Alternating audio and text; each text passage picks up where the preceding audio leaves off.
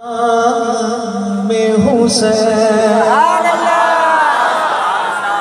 ये बात मैं इसलिए कह रहा हूँ क्योंकि इश्तहार था मोहब्बत अहले बैत। मैंने सोचा कुछ प्यार मोहब्बत की बात करनी है। और ये वही मोहब्बत की बात जिस मोहब्बत ने हमारे इमाम को अहले सुन्नत का इमाम बना दिया। लेकिन मेज़बानों की ख्वाहिश थी कि ज़िक्र हुसैन ही सुना जाए। अहले बैत एक बहुत वास्ट और बहुत फैला हुआ उनवान है तो अब वही, अब ज़िक्र हुसैन है और किस तरह करूँ, तवज्जो चाहूँगा। बयान से करूँ मैं?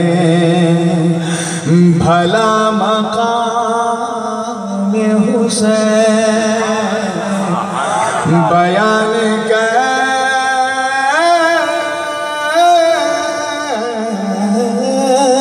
बयान कैसे करूँ मैं?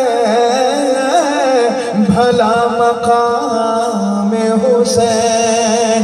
बयान कैसे करूँ?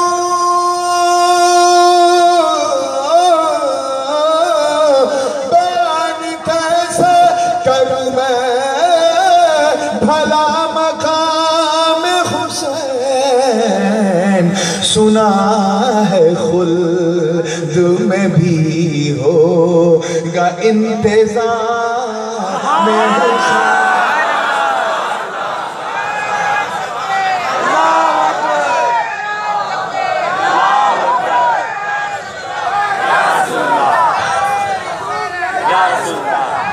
सुना है खुद में भी होगा इंतज़ार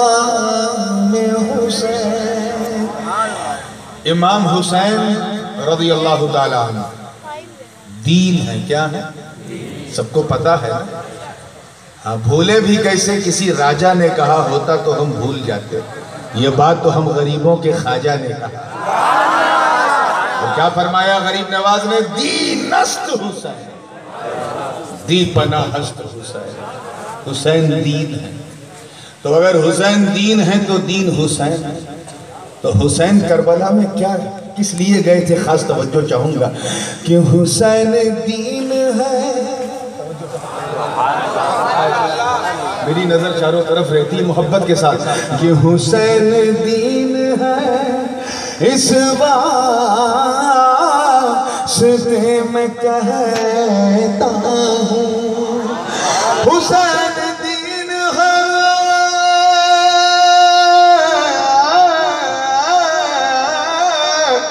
हुसैन दीन है। इस वास्ते मैं कहता हूँ, हुसैन दे खो संभाले। है खुद लगा मैं हुसैन।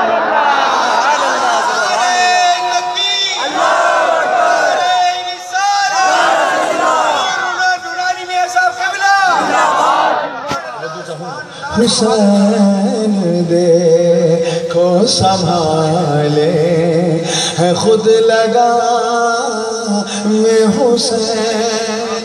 और ये शेर हासिल कलाम अभी जनाब फाजिल अशरफी साहब ने गिरहबंदी के दौरान उसे पढ़ दिया था कि बिठा के पोस्ट पे बड़ा नाजुक शेर है लेकिन मैंने बड़े एहतियात से कहने की कोशिश की और मैं कराम गेहूँ बिठा के पोस्ट पे सरकार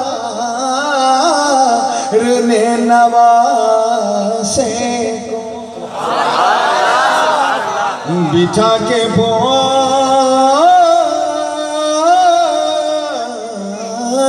बिठा के पोस्ट पे सरकार ने नवासे को बिठा के पोस्ट पे बिठा के पोस्ट पे सरकार ने नवासे को जमाने भर से कहा, ये है एहतरा